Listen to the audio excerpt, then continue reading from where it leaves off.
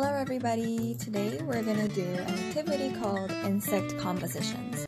For this activity you need rocks, strings, sticks, twigs, beads, googly eyes, or any recycled item you would like to use for this.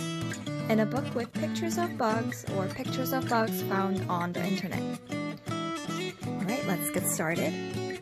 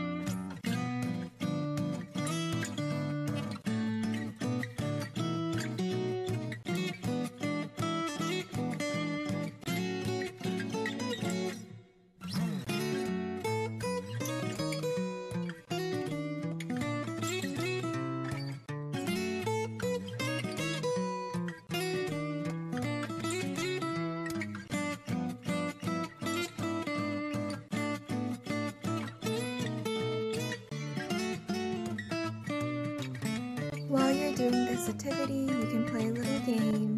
Guess what I'm making? Have fun! Thanks for watching.